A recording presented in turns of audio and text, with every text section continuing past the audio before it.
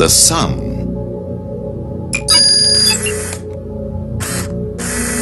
It is a member of the Milky Way galaxy. It is believed to be over 4 billion years old.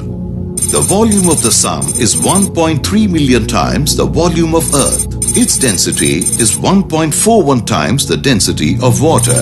Its mass is 3,33,000 times the mass of Earth. The Sun spins slowly on its axis as it revolves around the galaxy.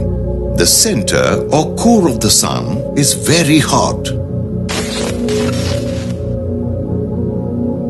The Sun is by far the largest object in the solar system. 98% of all matter within the solar system is found within the Sun.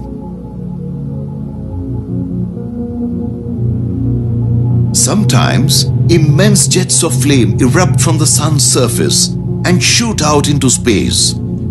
These are known as solar flares. The Sun appears to have black areas on its surface. These sunspots are places where the surface is slightly cooler. Sunspots can be as big as the Earth. This means that all the planets, moons, asteroids, minor planets, comets, gas and dust would all combine to make up only 2% of all the matter in the solar system. Because the sun is so large compared to everything else, it is easily able to hold on to the rest of the matter, causing everything else to orbit around it.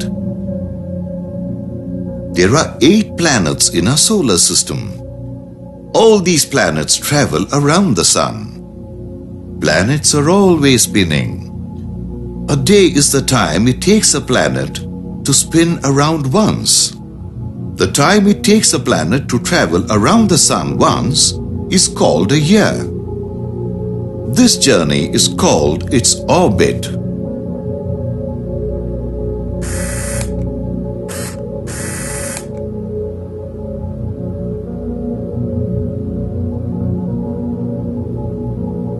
The Sun is at a distance of 150 billion kilometers from the Earth.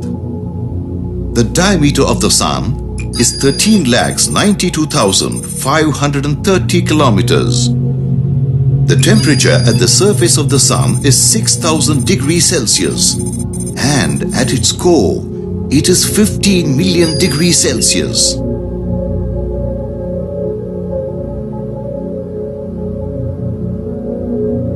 The Sun is our closest star. A